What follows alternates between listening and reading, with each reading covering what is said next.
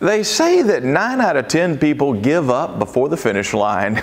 So if you don't quit, you're already in the top 10%. I bless you to keep going to the end.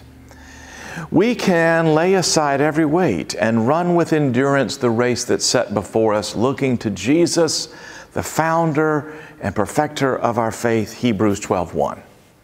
You don't have to be the fastest, the strongest, the youngest, or the smartest.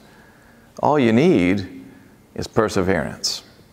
So I'm blessing you to keep your eyes on Jesus and to just keep running. If you don't give up, you're already a star.